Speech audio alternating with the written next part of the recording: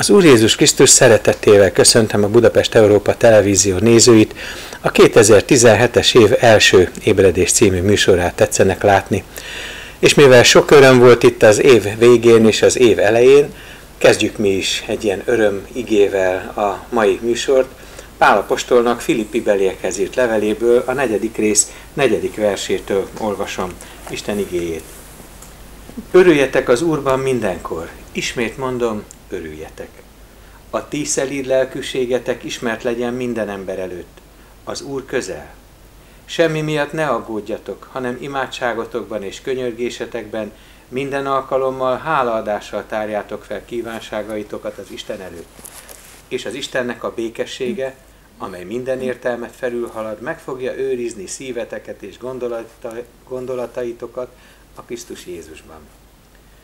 Továbbá, atyám fiai, csak ami igaz, csak ami tisztességes, ami igazságos, ami tiszta, ami szeretetre méltó, ami jó hírű, csak ami erény és dicséretre méltó, azokról gondolkodjatok. Az öröm, a tisztaság és a szentség, az erény, vagyis a jó, az Istenhez tartozik. Istenhez tartozó fogalom, és ő olyan boldog, hogy adhatja ezt nekünk. Hiszen az ő megváltói tette következtében mi, akik bűnös emberek voltunk, átmehettünk a halálból az életbe. Ez hát, ami örömünk oka, ez hát, ami szerzeményünk, ami élő reménységünk, hogy van egy megváltónk, aki megépítette újra a kapcsolatot Isten és az ember, a teremtő és a teremtmények között.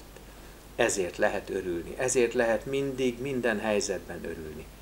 Mert tudjuk, hogy ebben a földi létben a bűn következménye miatt ugyan sok szenvedés vár ránk, de amikor véget ér ez a földi élet, akkor amit szem nem hallott, amit fül nem hallott, amit az embernek szíve el sem gondolt, meg sem sejtett, azt készítette el az őt szeretőknek. Nincs rá szó, nincs rá fogalom, hogy milyen csodálatos az a világ, ami vár bennünket majd odaát. Én azonban egy kicsit hadd húzzam le a gondolatainkat ide, erre a földre, a mindennapi valóságba, és azt mondom, hogy a Krisztussal való járás öröme az mindennél nagyobb boldogság. A legnagyobb boldogság. És ebben az örömben a fájdalmak, a nehézségek, a betegségek, a próbatételek közepette is lehet örülni. Komolyan vehetjük tehát Pálapostolnak ezeket a mondatait. Örüljetek, ismét mondom, örüljetek. Mindenkor örüljetek, és itt hangsúlyos a mindenkor. Mert mi mindenkor hajlamosak vagyunk sopánkodni, aggodalmaskodni, ami egyébként bűn, mert egyfajta hitetlenség. Pál apostol felemeli a tekintetünket, azt mondja, nézzetek fel, lássátok meg a megváltót, aki kiragadott benneteket a bűnből, és örüljetek, mert ő mindenkor ott ül, ott ül az Atya Isten jobbján, a trónuson, ül és uralkodik hatalmasan, erőnek erejével, hiszen ő királyoknak királya és uraknak ura. Soha nem hagyja el a trónját. Szentséges füleit pedig odahajtja a te imádságodra, az én imádságomra, a mi imádságainkra, és nehogy azt hitt, hogyha valami nem teljesül azonnal, de izibe, ahogyan mondjuk kicsit viccesen magyarul, akkor, akkor Isten nem uralkodik. Nem nem adja meg azt, vagy nem adja meg akkor, amikor az éppen nem volna a javunkra, vagy egyáltalán nem lenne a javunkra. De mindent megad nekünk, ami a javunkra szolgál, mert ő szerető atya. Ez is oka lehet az örömre, a mindenkor való örül, örömködésre, örülésre. Hát ilyen öröm van a szívemben ezen a mai lehetőségen, a felvételen is, és Szeretettel köszöntöm az én örömtársaimat, Berkes Józsefet és feleségét Angélát, Isten hozott benneteket a stúdióba, és szeretnénk a, te, a ti életeteken végig haladva egy-egy eseményt kiemelve meglátni az okot az örömre, hogy Isten hogyan szólított meg benneteket, hogyan ragadott ki, és miből ragadott ki, és hogy mentetek át ti is a halálból az életbe, mert most már elárulhatom a végső örömöt, hogy mi mindannyian Krisztus Jézusban hívő testvérek vagyunk, vagyis a mennyország várományosai. Hát hadd kérdezzem meg először akkor kedves József testvéremet, hogy hova helyezett el téged Isten, milyen családi környezetbe tervezett el? Hát szeretettel köszöntöm én is a hallgatókat és a nézőket, és köszönöm, hogy itt lehetek együtt, és beszélgethetünk veled és az életünkről, és arról, hogy Isten milyen csodákat vitt véghez úgy a mi életünkben, és mások életében is. Én egy református édesapától és egy katolikus édesanyától születtem, és református hitben neveltettek föl. Amikor kisgyermek voltam, akkor elvittek a református gyülekezetbe megkeresztelni, és amikor édesapámmal később ő is járt templomba, és hívott engem, akkor én is elmentem. És számomra érdekes volt az igehirdetés, a sok ember, aki ott volt, és aztán később a, az iskolában történő hitoktatás, amire édesapám beíratott, mert akkor is lehetőség volt, és amikor felnőttem, akkor mondta el édesapám, hogy bizony ez a hitoktatás akkoriban nem volt olyan természetes, és az édesapám attól függetlenül, hogy vállalta, de az igazgató úr, az iskola igazgatója megkérdezte az édesapámat, hogy, hogy édesapa biztos, hogy ön hittanra akarja íratni a fiát? Nem lesz ebből magának valami hátrányos következménye? Akkor ezt mondhatjuk egy ilyen egyfajta fenyegetés is volt talán, ugye? Igen, igen, szóban valahogy ez jött ki az egészből, és szándékos is volt, hogy néhány embert, vagy családot, vagy édesapát megfélemlítsenek. Édesapám pedig azt mondta, hogy igen, én biztos vagyok benne. És én örültem annak, hogy édesapám ezt felmerte vállalni, és amikor elkövetkezett az idő, akkor konfirmációra is kerültem. Az Isten tiszteleten, ami történt, az még mindig bennem maradt, de nem sokra emlékszem az ige hirdetésekből de mégis azért az ottani események meghatározóak lettek az életemben. Egy kis kiegészítés azok kedvére kedves nézőknek, akik esetleg nem tudják, hogy mi is ez a konfirmáció, mert sokféle ember nézi ezt a műsort. A hitnek a megerősítése méghozzá a gyülekezet közössége előtt, vagyis József testvérünk fiatal, kamaszodó eh, fiú, fiúként, fiatal emberként bizonyságot tett arról, hogy igen, van egyfajta Biblia ismerete, igen, tudja a KT kérdéseit és az azokra adott válaszokat, és aztán, hogy ez a szívében, valóságban mit is jelentett, hát ez később derült ki, hogy olyan sokat nem, de valamit azért igen. Igen, nekem nagyon fontos volt az, hogy édesapámat, amikor együtt voltunk a templomba, hallottam, hogy milyen szépen énekel. Vagy otthon, amikor együtt ebédeltünk, vacsoráztunk, akkor édesapám mielőtt a kenyeret felszegte volna, akkor egy keresztet vetett a kenyérre. És lehetséges, hogy még ma is a nézők közül is megteszi ezt valaki, vagy felvállalják a, a hitüket a mások előtt. Én úgy gondolom, hogy Isten azt szeretné, hogy mi ne félénk keresztények legyünk, hanem bátor keresztények, mert nem mi magunkba kell bízni, hanem az Úristen erejében. Ő ad ehhez a erőt, és ő ad ehhez vezetést is. Angélához fordulok, és téged szeretnélek megkérdezni, hogy te hogyan születtél, hogyan kerültél erre a világba, neked milyen környezetet készített Isten? Én is köszöntöm a kedves nézőket, hallgatókat. Hát az én történetem az nem, nem itt Magyarországon kezdődött, mert én 59-ben NDK-ban születtem. Édesanyám egyedül maradt, mert édesapám hűtlen lett, és lett egy másik felesége, és így édesanyám egyedül nevelt fel. De aztán hamarosan, mikor már egy-két éves voltam, talán akkor oda költöztünk abba a kis városba a nagyszüleimhoz, és hát így nem voltam annyira úgy, mint apa nélkül, mert nagyapám az a férfi szerepet azért vállalta, mert hát együtt neveltek engemet, nagyszüleim anyámmal, meg anyámnak volt egy öccse, és ő is, mint férfi azért határozó volt az én életemben. Anyám soha nem ment férhez többé, és így, így minden szeretetet azért rám adott, nem lettek ugye testvérek, és akkor anyámmal is egy, egy erős kötődés volt, és szocializmus idő alatt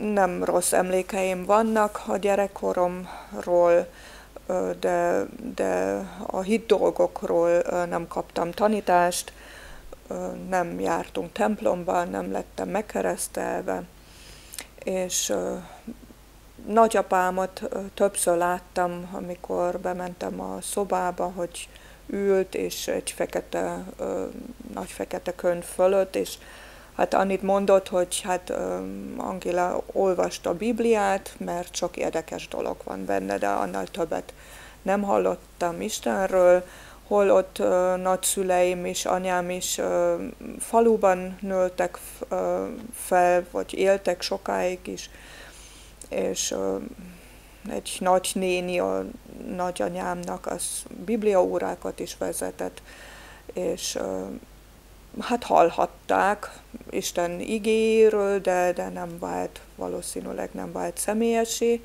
és azért ezeket lehet, hogy tartottak is tőle, mint a legtöbb kisgyerek, hogy hát kotnyeleskedik valahol, valamilyen helyen, olyat, ami talán nem lett volna előnyemre, és akkor nem is nagyon beszéltek róla. De, igen, ez érthető, abban az igen. időben ott NDK-ban eléggé tiltották a, a hitbeli dolgokat, igen. és hát a Honegger idők azok jellemzően eléggé zsarnoki idők voltak Igen. ebből a szempontból, nem volt szabad a hit, a vallás. Igen, nem lehetett megélni, és csak hát láttam, hogy van ott Ludwigsfeldében, ahol felnőttem, van ott eldugva egy, egy templom, de hát inkább gazok vették körül azt a templomot, úgyhogy nem lehetett látni, hogy ott lehetett volna valami élet, vagy valami istentisztelet, semmit nem tudtam róla, és csak jóval később, amikor már innen Magyarországról visszamentünk, akkor újra beindult. És akkor, ha tovább lépünk Józsefnek az életében, akkor hát mivel Angéla ugye Németországban, te meg ugye itt nevelkedtél, hát valami kapcsolódási pontnak kellett lennie. Ugye gondolom elvégezted a középiskolát, és aztán mi történt veled? Hát a középiskola után azon gondolkoztam, hogy hova menjek el dolgozni, tovább tanulni. Főiskolára jelentkeztem, és sajnos nem sikerült a felvételi. És az egyik barátom mondta, hogy ők ki szeretnének menni Németországba dolgozni. Nem eljönnék ki velük. És én teljesen megdöbbentem, hogy Németország, hát ez egy olyan fantasztikus hely lehet, hát miért ne próbálnám ki. Apám nem nagyon örült ennek a dolognak, akkor bejelentettem, anyám bíztatott, menj csak fiam, menj csak. És kimentünk, és ott három évig dolgoztunk az IFA gyárban, Berlin mellett, és ott ismerkedtünk meg egy szórakozó helyen. Hát akkor még nem foglalkoztunk sokat Istennel, és nem is nagyon olvastuk a Bibliát, nem jártunk templomba sem, a sűrűn, tehát ott Németországban nem is nagyon közeledtünk így az Úristenhez. De, de amikor megláttam Angilát, akkor nekem az jött az eszembe, hogy ezzel a lányjal le tudnám élni az életemet. És úgy olyan szerelem volt első látásra, és aztán valahogy sokunkban az volt, hogy hát mi azért magyar lányt szeretnénk elvenni, de mégis sok magyar fiú, férfi megnősült ott Németországban vagy Magyarországon, és német lány lett a felesége, így történt ez velem is. Nekünk itt volt Magyarországon az esküvőnk, és nagyon szerettük egymást, és egyházi esküvő is volt a református gyülekezetben. Hát gondolom ez Angélának nagy meglepetés volt, ugye, akkor hosszú idő után egy templomba bekerülni, ráadásul pont az esküvőkor. Vártál erre? Számítottál azért erre? Uh, igen, nem tudom mi okból, mi oknál fogva, de, de én is vágytam arra, hogy uh, Isten előtt legyen, hol ott uh, nem is igazán uh, tudtam felfogni most, hogy hát um, hogy mit fog mondani a lelkész, de mégis vágytam egy tartalos, tartalmas uh, mondatra, amit ugye egy, egy polgári esküvőn nem, nem igazán tudnak mondani, mert, mert ott olyan dolgokat elmondanak, ami, ami nem igazán tudja egy fiatal párt ö, bebiztosítani, hogy most, most ö, ennek van valami háttere. Elmondanak olyan üres frázisokat, Igen. legyetek boldogok, meg szeressétek egymást, na de Isten igéje azért csak nyomatékkal bír, és ott, ott annak van olyan mondani valója, ami egy életre kihat. Emlékszel is, hogy mit mondott a lelkész? Kaptatok ott egy igét, ugye? Kaptunk egy igét, igen, de ö, nem emlékeztünk rá később erre az igére, amit ö, azért egy ö, 14 évvel később azért nyomatékossá vált, méghozzá azt az igét, amit te is az elején fölolvastál, hogy a filippiekhez írt levél, a, a negyedik rész, a negyedik vers. Örüljetek az Úrban mindenkor, ismét mondom, örüljetek és hát csak a jóval később akkor vált azért az olyan tartalommal, az az, az, az ige, hogy örüljetek, amit akkor nem is nagyon értettem, sőt egyáltalán, mert magyarul nem is nagyon beszéltem még. És a lelkészünk az esküvőnk előtt akkor behívott, mert hát a jegyes oktatásra nem tudtam elmenni, mert még kint voltam, és csak szabadságra jöttem el, mert december 20-án volt az esküvőnk, úgyhogy karácsony előtt. Karácsonyi ajándék voltatok igen, egymásnak. Igen, igen, így van. És, és akkor kérdezte, hogy hát Angela meg van keresztelve? Hát mondom, én nem. Hát én már 20 évet elmúltam, hogy hát én nekem arra nem volt szükség eddig, hát én nem gondolom, hogy azon túl lenne arra szükségem.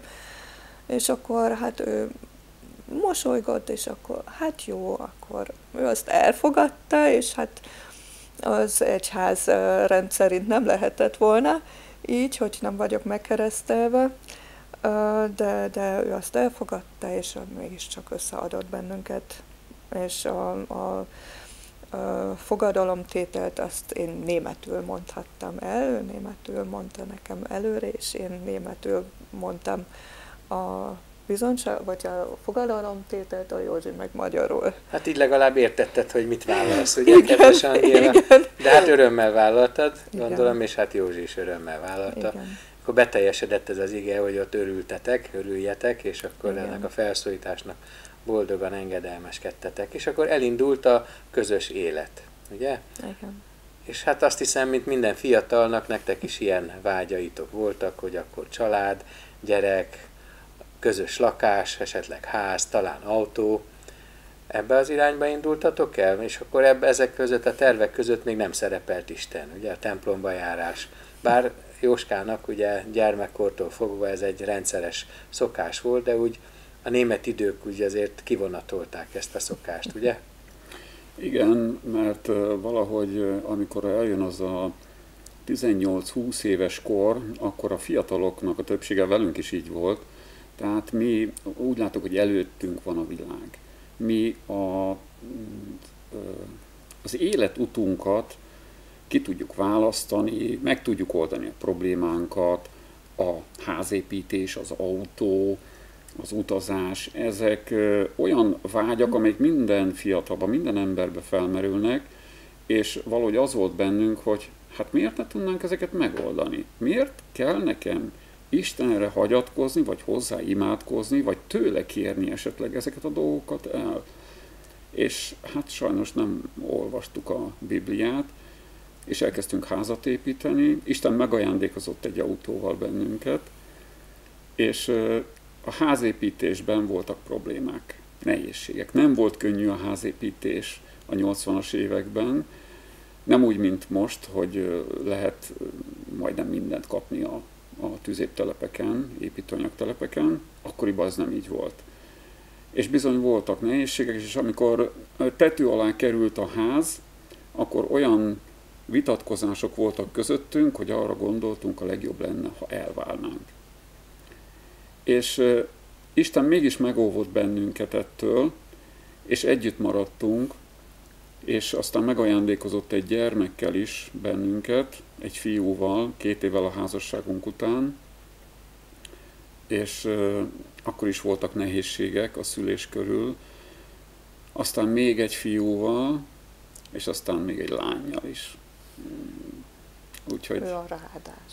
Az az áldás volt, és hálát adunk Istennek ezért áldás a három gyermekért. Áldás. Igen. De hát úgy tudom, hogy ott abban az épülő házban azért volt ott Biblia is. És ez néha-néha előkerült, vagy csak fönt porosodott a polcon? Mert a Biblia Istennek élő igéje, és ha valaki azt elkezdi forgatni, akkor, akkor Isten meg tudja nyitni a szívét annak a valakinek. És hogy volt ez nálatok? Hogy keresett benneteket Isten? Kit szólítgatott először? Hát először engemet, mert hát még ugye az elején anyósoméknál laktunk egy szobában, közben ugye épült a, azon a telken is egy, a, a házunk, és sokat voltam otthon az első gyermekünkkel, és akkor is nehézségek voltak, a beilleszkedés, azért a, a nagymama és még ott élt a Józsi nagymamája abban a, a házban, és hát minél hamarabb szerettünk volna ugye beköltözni, külön lenni, nem egymásnak a, a terhére lenni, ahol ugye egy kisgyermek születik, akkor az éjszakák sem olyan, olyan uh, pihentetőek, és akkor még pláne, hogyha még figyelni is kell, hogy uh,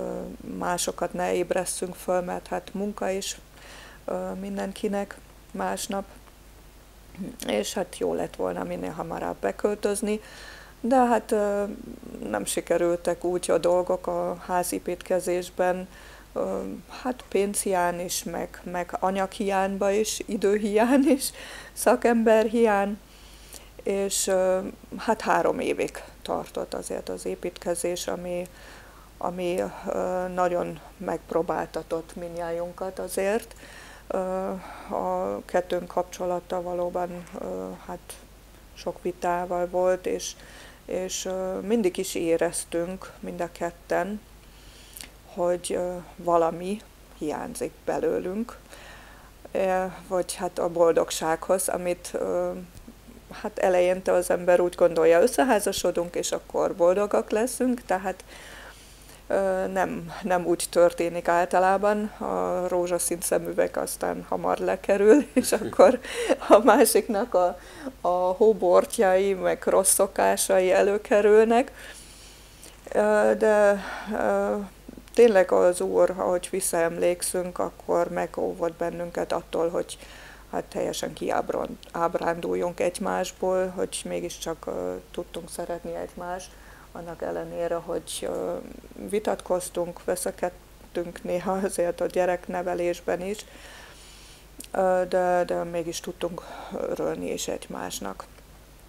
És uh, hát ez az öröm, amit Isten ugye fölkínált, ezt még nem Istentől kértünk, hanem egymástól vártunk, hogy hát egymásnak örömöt szerezzünk, és hát jóval később került rá sor, már ö, ö, hát közben ö, aposom is beteg lett, kórházba került, a és 93-ban, januárban meg is halt, és a Józsi a természetgyógyászba belekerült, és itt, itt nem tudott segíteni aposomon.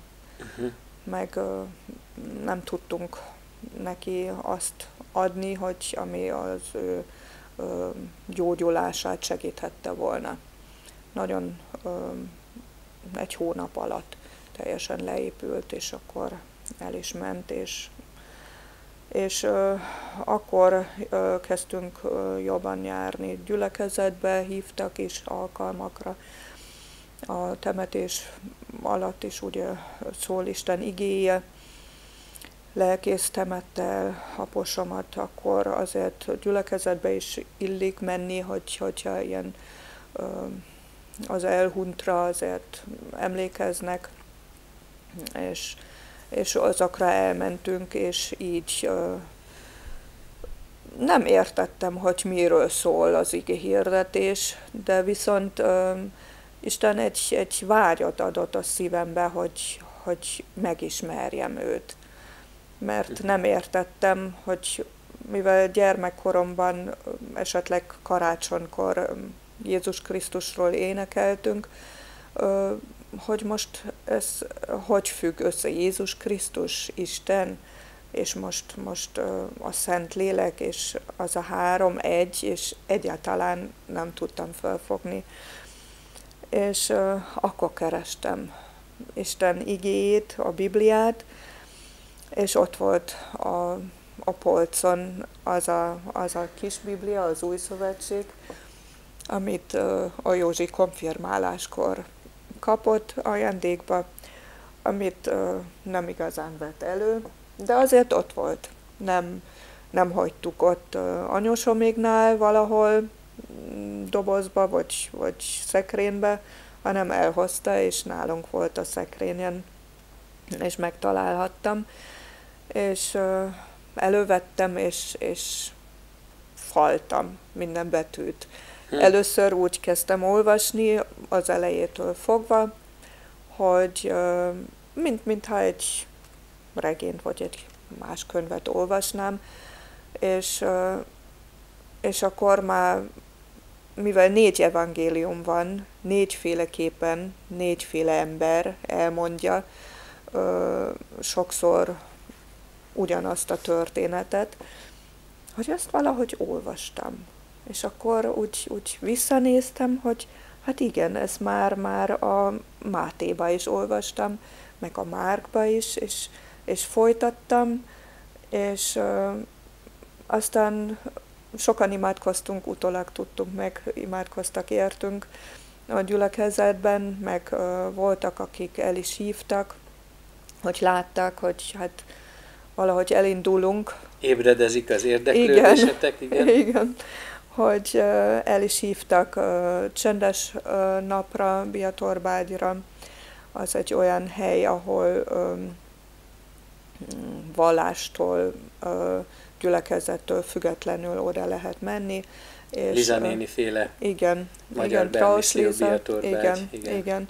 És ott rengeteg ember volt, oda elhívtak bennünket, elmentünk, és egy vasárnapot ott végig hallgattunk Isten igéjét, és nagyon sokan ott voltak, akik bizonyságot tettek az ő hitükről, és, és örömteli arcok voltak, annak ellenére, hogy többen voltak tolosszékben, vagy, vagy valamilyen testi fogyatékossággal élők, és mégis boldogak voltak. Együtt énekeltünk, és ez nagy hatással volt ránk, rám is, és ahogy olvastam az igét, és, és ott Biatorbágyon és gyülekezetben is hallottam, hogy hát Jézus Krisztus ő ő személyesen akar velünk találkozni, nem csak úgy, hogy,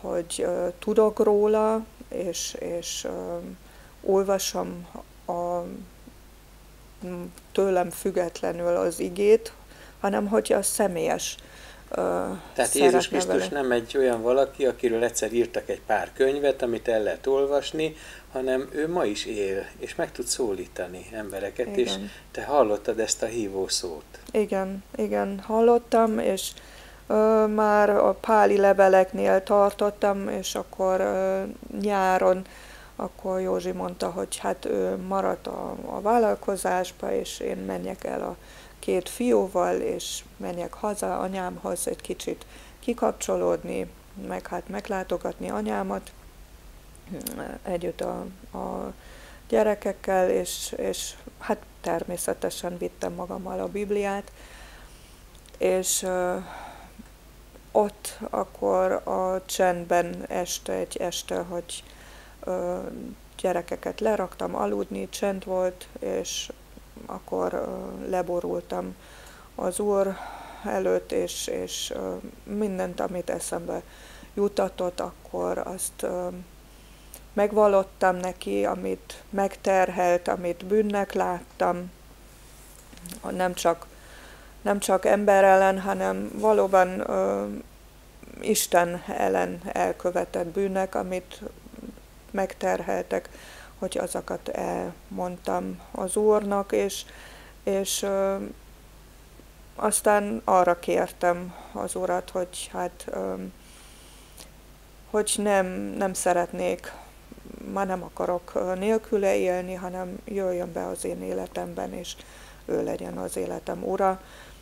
És, és attól kezdve egy, egy megtapasztalhattam, hogy megbocsájtást adott, bocsánatot kaptam, és valóban új életet, hogy ő beköltözött valóban az én életemben. Mit szólt ez édesanyja, észrevette? Ezt a változást? Ő nem tudta hova tenni. Aha.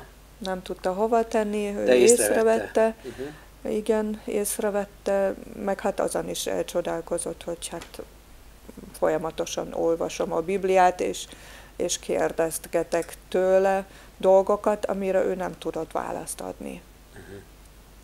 Mert ez, a családunkban nem volt ö, olyan ismert dolog, hogy, hogy beszélgessenek róla, hogy bár a nagyapám, hogy olvasta az igét, biztos voltak gondolatai, és volt is valamennyi ö, ismerete róla, de, de nem volt beszédtéma nálunk sosem. Uh-huh.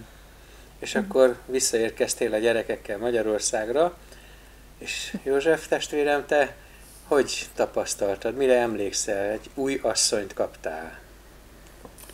Hát igen, egy új asszonyt kaptam, de uh, én még visszatérnék arra az időszakra, amikor úgy a 80-as évek elején, a házasságunk után egészségügyi problémáim voltak, és uh, sajnos allergiás beteg voltam, és néha vagyok még most is, és az orvos azt javasolta, hogy orpolipom miatt műtétekre kell járni, az első orpolipot kivették, aztán egy három éve később megint a következőt, aztán megint a következőt, és hát nem nagyon tetszett, és nem nagyon örültem ezeknek a műtéteknek, nem egy kellemes műtét.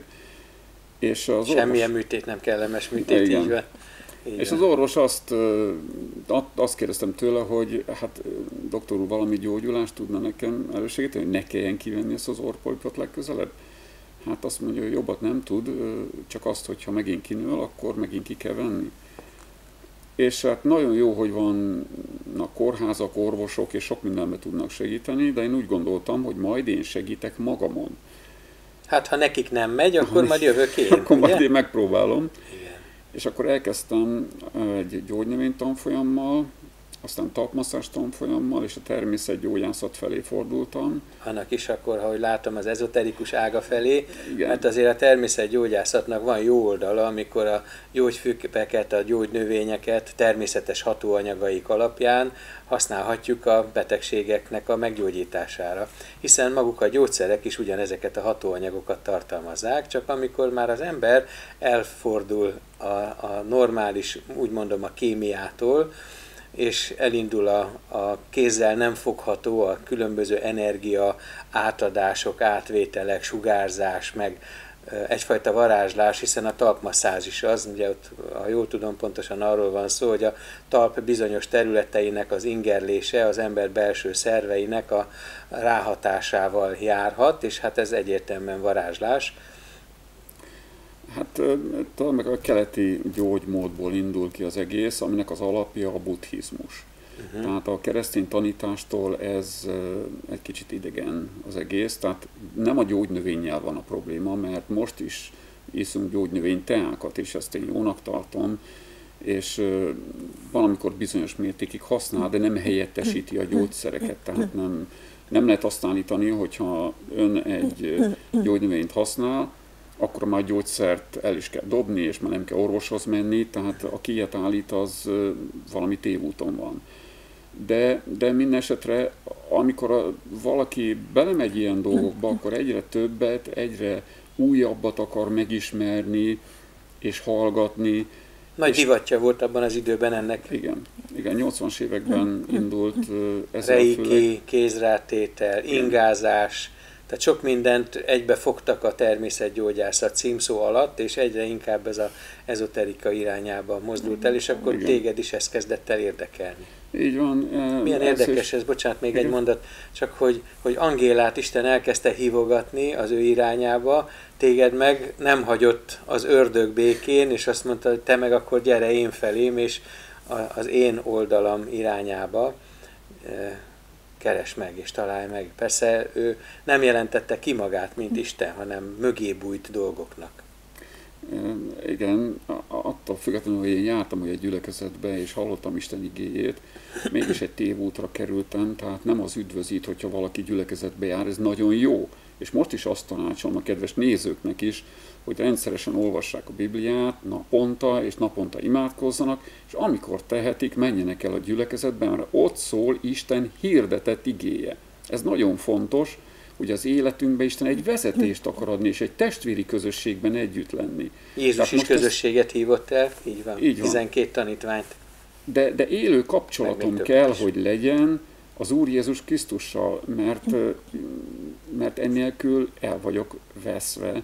És amikor én belementem ezekbe a dolgokba, nem olvastam Isten igéjét, nem voltam kíváncsi Istennek az akaratára, és és hát amit mondtam, még vegetáriánsik is voltunk, a gyerekeinket is be akartuk vinni ebbe, az agykontroll, a Darnell tréning, a szellemgyógyászat, tarotkártya, meg, meg hát még a karatéba is belementem két éven keresztül, és hát ez is a buddhizmusból ered.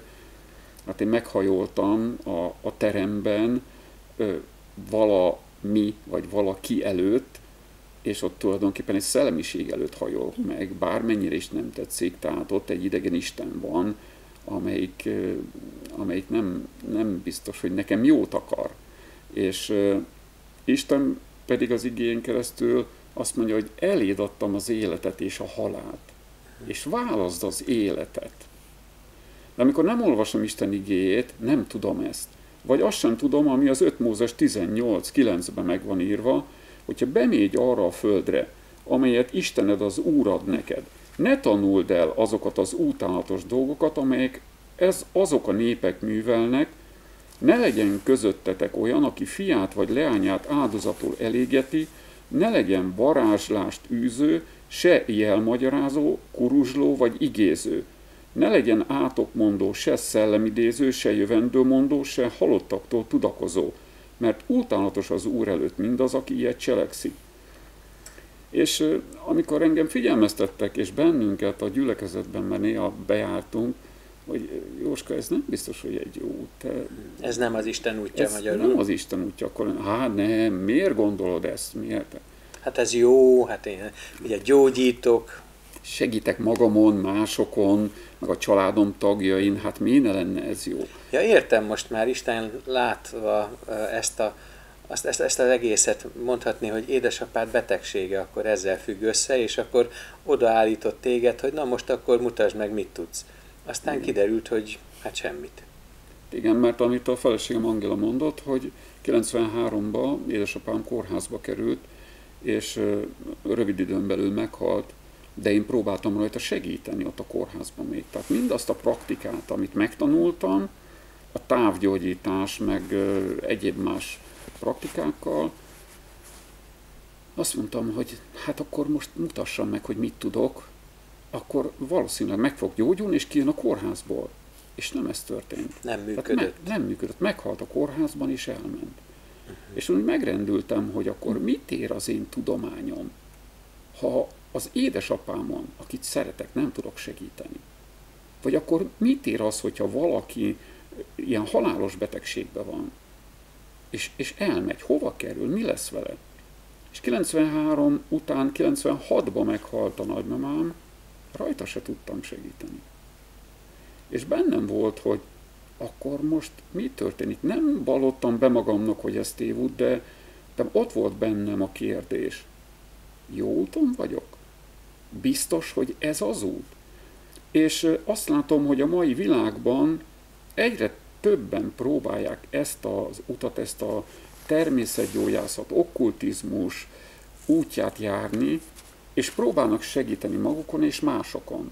Ott, ahol mi lakunk, ott is vannak ilyenek. Itt Budapesten is vannak. Számtalan ilyen ember van, aki ezekbe belemegy. És számtalan olyan adás van, bocsánat, a hírközlő eszközökben, az újságban, a televízióban, a rádióban, interneten, amelyik ezt propagálja, és ezt hirdeti, hogy jöjjetek hozzám, majd segítek én rajtatok. És láttam azokat a negatív dolgokat, amikor egy, egy fiatal nő azért ment tönkre, és azért hullott a haja, mert valakinek a lábát masszírozta napi hat órán keresztül. Vagy láttam azt az embert, aki már a szellemgyógyászatban volt benne, ez egy nagyon éles határterülete az ördögnek. Nagyon ördögi határ, amiben mi próbálunk, tehát ugye a fehér mágia, a fekete mágia között lavírozva, ugye a fehér mágiát végezni. Hát egyértelmű nincs, varázslás. Nincs igen. különbség a kettő között. Mi azt gondoltuk, hogy van. Mi tudjuk kontrollálni ezt. Nem tudjuk kontrollálni. Tehát az ördög ezeket kihasználja, és sajnos akik belementek ebbe, láttam, hogy épülnek le. És rövid időn belül olyan ráncosak, öregek lesznek, már bocsánat, hogy ezt mondom, egy, egy pár év alatt, mert a 80-as években együtt tanultam, és hallgattam ezeket az előadásokat, tanfolyamokat olyan emberekkel, akik már elmentek és meghaltak, vagy aki még él, és hirdeti ezt a, az úgymond utat, de sajnos ez tévút. Viszont milyen jó volt, hogy Isten akkor már tett melléd egy olyan feleséget, aki már megismerte az egyetlen, a helyes, az igazi utat, és tudom, hogy ez az, ami, és most a kedves nézőköz szólok, hogy ez az, ami nem tetszik sok embernek, hogy a kereszténys, kereszténység az egy, ez egy diszkriminatív hit, egy vallás, mert hát azt hirdeti magáról, hogy csak egy az út. Én nem azt mondom, hogy diszkriminatív, én azt mondom, hogy ha egyszer egy ajtó létezik egy szobából, amin ki lehet menni, akkor hiába hirdet mindenki 142 más ajtót, aki azon elindul, csak a fejét fogja a falba verni. És így van ez itt is. Egy út van, ami Istenhez vezet, és ez nem úgy van, hogy van egy hegy, és annak van egy csúcsa, és mármely oldalról oda lehet jutni, hanem csak egy út van, ami felvezet a csúcsra, az összes többi az a halálba vezet. Tévutak, és milyen jó, hogy Isten már akkor készített neked egy támogatót, nem csak a gyülekezetben, hanem egészen közel hozzád egy a legdrágábbat, akiről tudta, hogy a legjobban szereted, és biztos, hogy majd fogsz hallgatni rá, hogyha esetleg olyanokat mond, amin elgondolkodhatsz, és az ő szívében már odaadta önmagát, mert Jézus beköltözött az ő szívébe, gyarapította a tudását, az ismeretét a, a Szentírás olvasásával, annak megértésével, és ez egy akkora csoda a számomra, mert az adás előtt mi már beszélgettünk azért Angélával is, meg veled is, és tudom, hogy hogy ő a Károlyi Bibliát olvassa, és egy német anyanyelvű ember, akinek a szókincsében nincs is benne az a fajta rendszer, amit a Károlyi Bibliában meg lehet találni, és ő olvasta, és átrágta magát, és befogadta a szívébe, és értette, és akarta ezt a, a nehézkes ómagyar szöveget, és hogy ezen keresztül tudott világítani úgy, hogy ez a világosság aztán kiterjedt az egész családra, hát elsősorban rád. Hát igen, csak amikor Angéla elkezdte olvasni ezt a Bibliát úgy 94-ben, akkor hát én nem örültem neki. Pedig az én konfirmációs Bibliámat kezdte olvasni, amit én nem olvastam, bűnös gyarló létemre, ugye, és ezt látom a mai fiataloknál is, hogy olyan sokan kapnak Bibliát, és szerintem olyan sok fiatal és felnőtt, családos lakásokban ott van a polcon a Biblia. Én nagyon szépen kérem a kedves nézőket, hogy vegyék elő azt a Bibliát, és olvassák. Naponta csak egy kicsi részt olvassanak. És Isten meglátja, hogy csodálatosan fog munkálkodni az ön életében. És olyan, ö, olyan ö, csodákat fog véghez viszi, olyan örömöt, mint amiről mi az előbb beszéltünk. Ö, Isten örömöt akar adni az ön életében is. És ö, amikor a feleségem elkezdte olvasni, én azt mondtam neki, hogy te miért olvasod ezt a Bibliát? Hát miért nem foglalkozol a mosással, a főzéssel, a takarítással? A hát mellett neked, olvasta, nem helyette, ezért. Nincs neked, nincs neked más dolgod, csak ezt olvasni. És akkor nem értettem, de aztán mosolygott rám, és gondolom imádkozott is értem, és a gyülekezetiben is a tagok imádkoztak, értem és értünk a családunkért, hogy kikerüljünk ebbe a tévútból, és aztán Isten meghallgatta az imádságot, mert 97-ben én is elkerültem egy Mátraházán egy presbiteri konferenciára, és ezen a konferencián én úgy mutatkoztam be, hogy én Isten kereső ember vagyok. És az egyik presbiter társam, egy férfi, este azt kérdezte, hogy József, meg akarod-e találni az Úr Jézust, az Úr Istent? És én azt mondtam, hogy hát én meg akarom találni, de hol van? Hogy lehet megtalálni? Mit kell csinálni? Vagy, vagy mi, mi, mit mi az útja, módja? Mi az útja? És akkor azt mondta ez a presbiter, ez egy élőhitű, megtért hívő presbiter, aki még mindig él, és jó kapcsolatunk van, hogy József, imádságban mondd el Istennek azt, hogy mi volt az az életedben, amit rossznak találsz, rossznak gondolsz, és kérd a bocsánatát, hogy Isten bocsássa meg azokat a bűnöket, amiket te felsorolsz. És add át az életedet az ő kezébe. És a szent lelkét, az Isten szent lelkét hív be az életedbe, a szívedbe, hogy ott lakozást vegyen az Úr.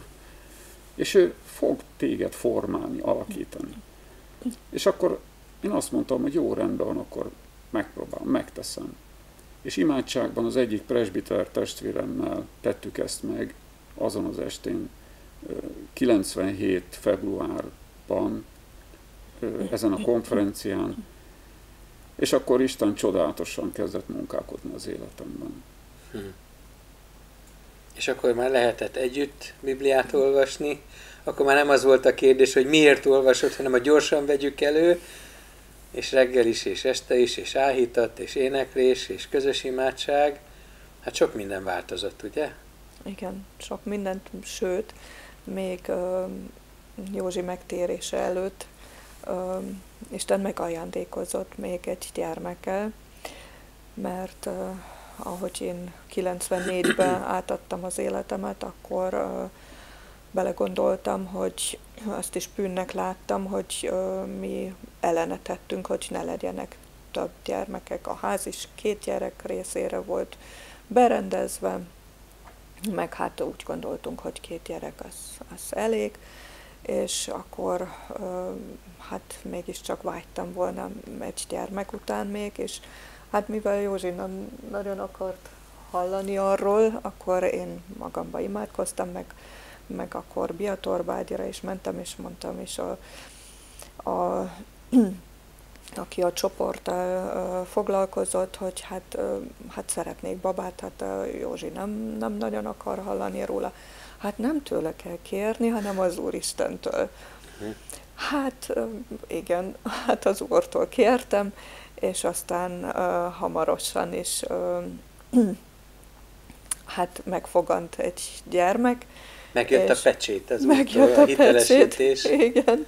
Igen, hogy ö, valóban ö, az Úr olyan gazdagon megajándékoz, és ö, olyan csodákat tud véghez vinni, hogy hát én bennem az is volt, hogy hát ha lehet ha egy gyermek, de hát ha lehet a két fiú után jó lenne egy kislány. Uh-huh. És ö, aztán... És amikor, láss csodát. Igen, és amikor Józsinak elmondtam, hogy hát lesz gyermekünk, hát meglepődött, de azért nem, nem volt haragos vagy valami, hanem ő is örült. és akkor kiderült, hogy tulajdonképpen, hát ő is úgy, úgy gondolkozott rajta, de hát azért hát úgy nem, nem merte volna úgy ezt föltenni, hogy hát legyen egy gyermek, de, de azért örült a, a gyermeknek. És hát a kilenc hónap az hát nagy várakozással volt, nem volt annyira könnyű, mert hát már nem voltam annyira fiatal, hát 35 éves elmúltam már, akkor, és hát küldtek ugye orvosokhoz, hogy genetikai tanácsadásra, és ott is azért az orvos elég durván kifejtette a gondolatát, hogy hát hogyha nem akarok semmilyen ö, vizsgát ö, véghez vitetni magamon, hogy, hogy esetleg magzatvíz vizsgálatot, vagy, vagy aztán már később, hát mire azt nem engedtem, később még lehet mélepénből is venni mintát, hogy nem esetleg egy Down-szindrómás gyermek ö, ö, lesz, és, és akkor ö, mondtam is az orvosnak, hogy ha tényleg az Úristen ezzel akar megajándékozni, mert mi azt Isten kezéből fogadtunk el ezt a gyermeket, akkor biztos, hogy ahhoz is fog erőt adni, és, um, Ez jó hm. bizonyság volt az orvos felé azért. Igen. Az orvosoknak azt hiszem erre nagy szükségük van. Mert Igen. azt hiszik, hm. hogy a nagy tudással, meg a genetikai vizsgálattal már életnek és halálnak urai, pedig annak Isten az ura. Így van, és uh, nem, nem engedtünk, és a Józsi is mondta akkor, amikor telefonáltam, hogy hát semmiképpen uh, nem, nem kell ilyen vizsgálat alávetni magadat, mert, mert hát ez van annak azért kockázata is. Igen, egyébként egy rádióműsorban egyszer hallottam egy kedves édesanyját megnyilatkozni, akinek két gyermeke van, az egyik egy nem Down-szindrómás kisfiú, a másik egy Down-szindrómás uh-huh. kisfiú, uh-huh. és azt mondja, azt mondta a riportban, nagyon megmaradt bennem ez a néhány mondat, azt mondta az édesanyja, hogy amikor sétálok a gyerekeimmel, akkor néha úgy szánakozva néznek rám, és úgy sajnálkoznak az emberek, uh-huh. hogy hát szegény édesanyját uh-huh. egy ilyen gyerekkel, hát ez milyen nehéz lehet, uh-huh. és azt mondja, egyszerűen hadd mondjam itt most mindenkinek, hogy nem tudják ezek az emberek, hogy mit mondanak, vagy mit gondolnak. Uh-huh én soha annyi szeretetet nem kaptam a, az egészséges fiamtól, mint a Down-szindrómás fiamtól, aki, amelyik hát egyfajta elváltozás, még csak azt se lehet mondani, hogy betegség. Azon kívül egy Down-szindrómás gyereknél soha nem lehet se, semmiféle erőszakos cselekményt tapasztalni, ők mindig szeridek, mindig szeretetteljesek. Tehát mondhatná, hogy egyfajta ilyen mennyországi előleg egy ilyen Downos gyerek. De hát térjünk vissza a ti életetekre, és akkor megszületett a kislány, és akkor imádságban született már, már akkor imádságban hordoztad, még akkor Igen. egyedül, később Igen. már ketten, és akkor milyen a hívő élet? A közös hívő élet. Hát a közös hívő élet az egyre jobb és egyre csodálatosabb, amit nem, amire nem is gondoltunk. Tehát a megtérésünk előtti életünkkel összehasonlítva, ez egy fantasztikus. Tehát most már csak nézőket is arra bíztatom, hogy próbálják ki ezt az életet, és, és sokkal jobb, és sokkal nagyobb egység és összhang van közöttünk, és sokkal inkább tudunk örülni egymásnak, és békességünk van az Úr Jézus által, tehát ő az, aki összetart és összefog bennünket, és bocsánat, hogy most itt megemlítem, hogy szóba került az, hogy, hogy az abortusz kérdés. Tehát ez Magyarországon és az egész világon. Tehát a, a gyermekeknek a százait, ezreit öljük meg naponta. Magyarországon mai nap is száz gyermeket ölünk meg steril orvosi körülmények között. Kérem azokat, akik erre készülnek, egészséges kisbabákat hoznának a világra. Gondolják végig ezt, hogy Isten vajon mit cselekedne. Mi az, ami az Úristennek tetszik? Én biztos vagyok benne, hogy nagyon sok örömöt találnak az édesanyák, édesapák azokba a gyermekekbe, akik megszületnek, és nem pedig abortuszon halnak meg. Mert itt azért az 5 Mózes 18-ban az is benne van, hogy ne legyen közöttetek olyan, aki fiát vagy lányát áldozatul elégeti, és ez bizony a kikapart gyermekeket elégetik a tűzön. Tehát Isten előtt, bocsánat, hogy ezt mondom, ez is utálatos. És imádkozunk azokért is, akik ilyeneket elvégeznek, hogy gondolják meg ezt. De hála Istennek, hogy nálunk ez nem fordult elő, és nem volt ilyen. De és van is, arra is bocsánat. De van arra is bocsánat, igen. Mert azt mondja a Ján, 1 János 1.9-ben, ha megvalljuk bűneinket, hű és igaz ő megbocsátja bűneinket, és megtisztít minket minden gonoszságtól. Ez bármilyen bűnre érvényes. És még annyit tennék hozzá, hogy nagyon jó hirdetni is az evangéliumét, és szólni, és továbbvinni, de azért nem volt könnyű szabadulni ebből a megkötözöttségből, a természetgyógyászatból, mert egy egész szekrényi könyvet vásároltam én össze, sok ezer forint értékben, és most mit tegyek ezekkel? Vagy azokkal a varázsveszőkkel, vagy ingával, vagy egyéb dolgokkal az első gondolatom az volt, hogy oda ajándékozom valakinek, hogy hát, ha esetleg használ valakinek. De aztán arra gondoltam, hát, hogy hogy használna, hogyha engem tévútra vezetett. Hát ha nekem ártod, akkor, másnak is ártani fog. Akkor másnak Igen. is ártani. De mit tegyek? És a feleségem azt mondta, hogy hát ezt el kellene égetni. És én féltem ezt elégetni, nem akartam először. Miért kellene ezt elégetni?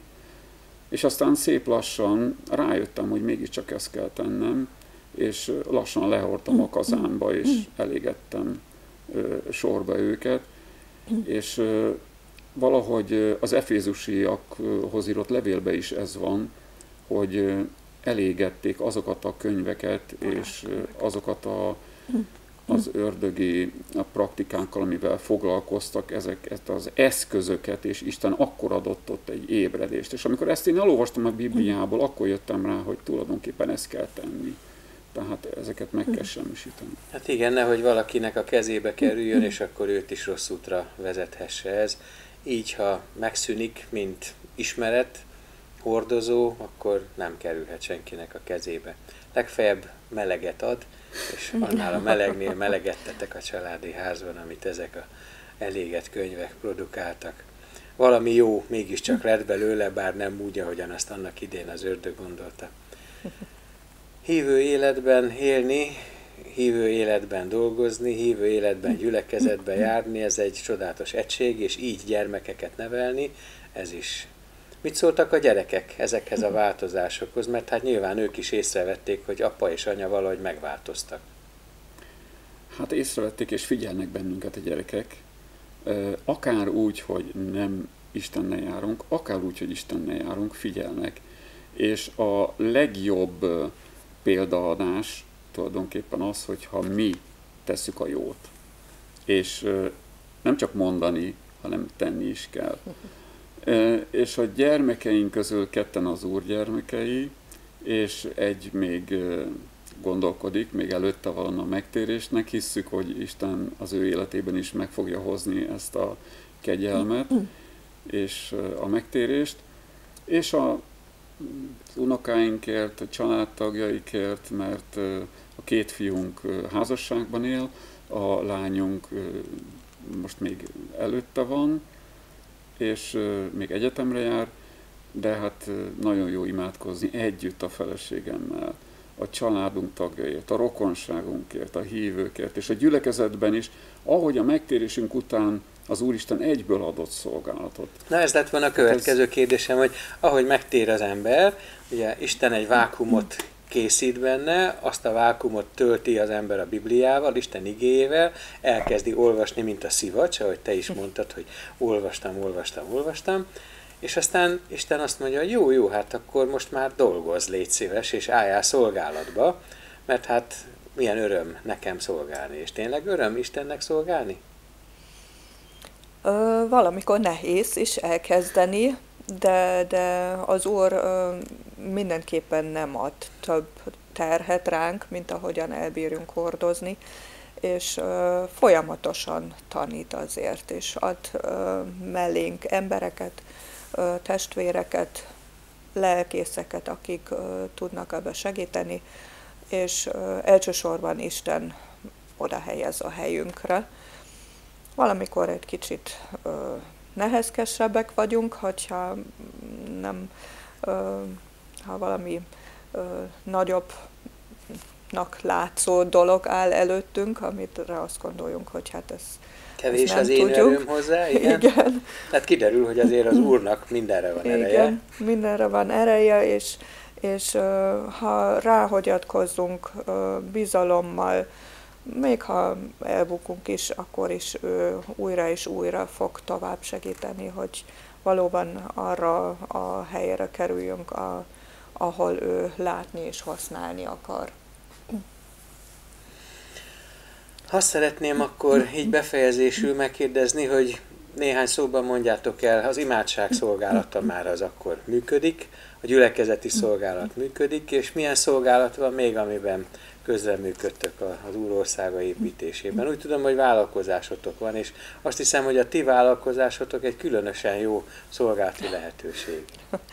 Igen, jönnek hozzánk emberek, fiatalok, és uh, tudunk nekik uh, nem csak külső öltözéket adni, de lelki töltödést is tudunk adni a kezükben, adunk nekik evangéliumi íratokat, tudnak választani, hogy melyiket szeretnének az kezdő indulásra, vagy lehet, hogy később majd visszanyúlnak ehhez a könyvhöz, amit akkor választottak, amit nász ajándékba kaptak tőlünk. És, uh, úgy... Tehát akkor, mint mennyasszonyi ruhakölcsönzők, nem csak ruhát adtok kölcsön, hanem örökbe adjátok az evangéliumot, Igen. amit majd Isten a kellő időben meglocsolva megengedi, hogy felsarjadjon a vetés, és meghozza a maga termését, ahogyan ezt meghozta a ti életetekben is. Hát kívánom, hogy így legyen, és egy rövid közös imádsággal akkor kérlek benneteket, hogy fejezzük be ezt a műsort, és hát akkor így ebben a sorrendben, hogy Jóska, Angéla, és majd én befejezem. Ja. Kezdjük meg. Köszönöm szépen. Urunk, hálát adunk neked a te csodáidért, és köszönjük néked, Urunk, a kegyelmedért, a szeretetedért, és köszönjük néked, Urunk, hogy elhívtál, és elküldesz a szolgálatra is. Kérlek, Urunk, te adj szabadulást mindazoknak, akik ebben a megkötözöttségben, rabságban vannak, a természetgyógyászat, az okkultizmus, a bálványimádás rabságában. Kérünk, Urunkat, hogy ne csak a fülükig, hanem a szívükig érjen a Te igéd. És kérünk így áld meg a szolgáltainkat, Ferinek az életét, szolgálatát és az itteni csatornának a, a szolgálatait is. Nevedért hallgass meg. Amen. Amen. És köszönjük, drága Úr Jézus, hogy Te valóban nagyon szeretsz bennünket, és semmiképpen nem akarsz nagyobbat nagyobb terhet ránk vetni, mint ahogyan elbírunk hordozni. Köszönjük, hogy Te vagy az, aki elhordozol bennünket egyén-egyénként, és köszönjük, hogy a Te szeretetet az örök, és most is ugyanúgy cselekszel, mint ahogy akkor a világ kezdete előtt, és a kiválasztottak minden ember meghallhatja a te örömüzenetet, amit rajtunk keresztül is akarsz üzenni. Segíts minket, hogy megélhessünk a mindennapokban is a te öröm, benned való örömöt, és te ki tudj teljesedni a te népedben. Köszönjük, hogy azt a világon mindenütt megcselekszel. Amen. Amen. Hálát adok, mennyei atyám, hogy egy idegen országba vitted el Jóskát, hogy onnan hozzon feleséget, Angélát. Hálát adok, Uram, hogy az ő életutukon megláthatjuk a te munkádat, hogyan mented a lelket, hogyan mented a népet, hogyan születhetnek hitben gyermekek. Áldunk és dicsőítünk, Urunk, Berkes családért, Józsefért és Angéláért, gyermekeikért, unokáikért, a még élő felmenőkért is, környezetükért. Áld meg, Uram, ezt a mennyasszonyi ruha kölcsönző vállalkozást is tőled jövő áldásokkal hadd adhassák az igét mindazoknak, akik náluk kapnak az esküvőhöz való ruhákat. Köszönünk neked, Uram, minden szót, amit leírtál, amit leírattál a Bibliában, hiszen ezek a szavak azok, amelyek életté és lélekké lesznek emberek szívében, lelkében, amely megváltoztatja az életünket, amely átvisz bennünket a halálból az életbe. És így lehetünk teljes örömnek részesei, és köszönjük ezt az örömöt, amely elvehetetlen belső öröm a szívünkben, Jézus Krisztusért, ő benne, ő általa. Amen. Amen. Kedves nézőim, köszönöm szépen, hogy együtt voltunk. Isten áldja mindannyiukat. Köszönöm Jóskának és Angélának a kedvességét, a bátorságát. Isten velünk áldás, békesség, viszontlátásra minden jót kívánok. Viszontlátásra. Viszontlátásra. Isten áldja önöket.